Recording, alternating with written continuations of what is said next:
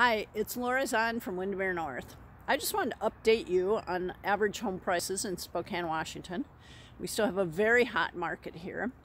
Home prices this year went over the $300,000 mark for the average home price for the first time. Average home prices here now are about $336,000 and I'm going to show you one behind me that went for just about that price. So this home is in a lovely neighborhood that is less than a mile from Riverside State Park in northwest Spokane. It was built in 1979 and you can see it is a multi-level home. There are four levels actually, two-car garage, big lot, nice big trees. There are three bedrooms up, two baths up.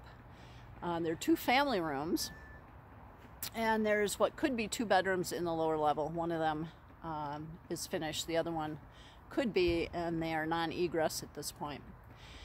So, um, this home has been pretty much updated too. A lot of them in that price range still need some updates, especially if they were built in 1979.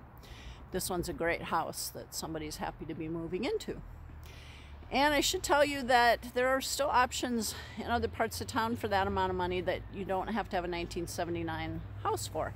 I recently was able to help a couple who bought out in Airway Heights, a house that was less than a year old, and they got that for about 330.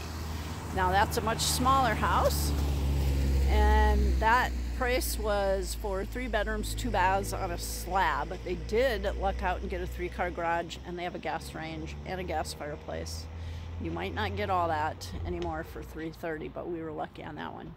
If I can help you in Spokane, I would love to. I love this town. I love real estate, and I'd be happy to help you out.